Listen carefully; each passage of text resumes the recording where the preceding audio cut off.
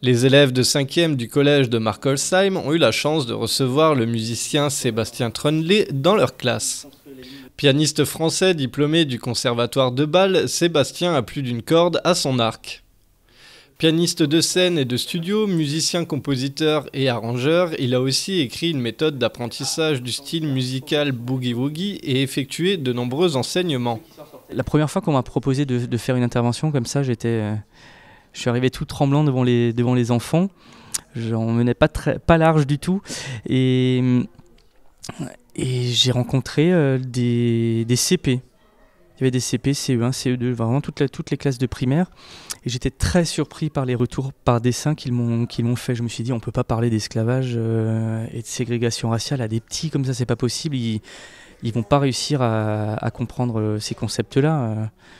Euh. Et en fait, si, ça fait même partie de leur programme d'histoire. Dès le CP, on a des.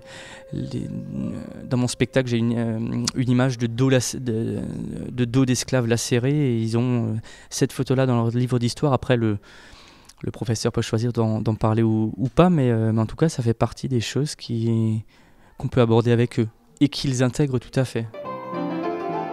Cette rencontre s'inscrit dans les actions de médiation culturelle que développent les Tanzmatten de Célesta.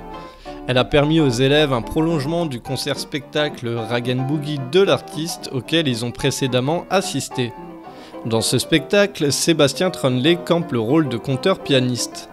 Il incarne différents personnages pour raconter l'histoire du ragtime et du boogie dans leur contexte historique soutenu par des vidéos d'archives.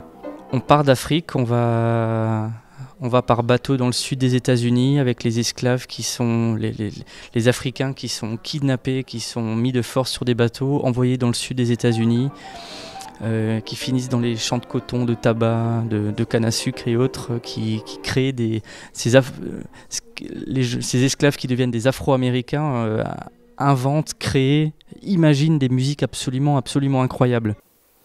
Durant la rencontre, l'artiste est revenu plus en détail sur l'histoire et les origines du jazz. Un fil conducteur qui lui permet de traiter d'importants sujets comme la ségrégation raciale de l'époque. Au terme de la rencontre, l'intervenant s'est prêté à un long exercice de questions-réponses avec les élèves avant de leur signer quelques dédicaces.